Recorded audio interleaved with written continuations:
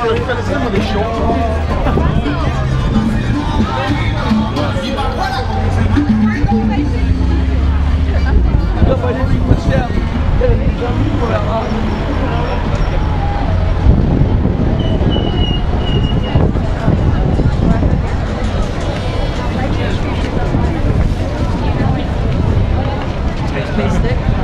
Look,